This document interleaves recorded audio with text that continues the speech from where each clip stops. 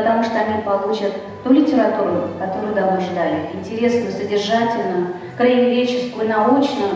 А, поэтому спасибо всем за то, что этот конкурс состоялся. Творите, дерзайте, мы будем ждать нового конкурса. Ну и, конечно, через год. Ну и, конечно, я должна сказать спасибо своим коллегам, потому что организовать, провести такой конкурс – дело очень сложное и ответственное. И пусть были споры, пусть были несогласия, это очень активный творческий процесс. Главное, что наш, наш праздник сегодня состоялся. Спасибо.